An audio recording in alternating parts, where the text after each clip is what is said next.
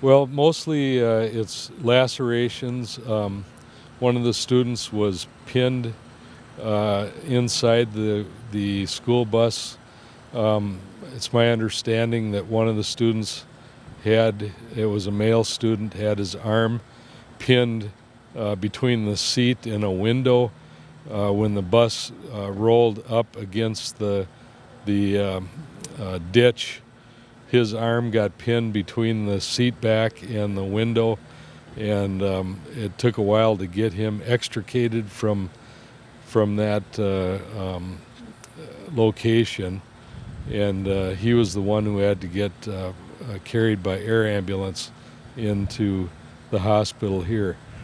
Um, the rest of the uh, uh, more seriously injured children were brought by ambulance, and the ones who who were treated at the scene and were less seriously injured with minor lacerations were brought in. Um, uh, I think by a school bus and uh, brought in quickly to the ER and checked out by doctors and treated and released.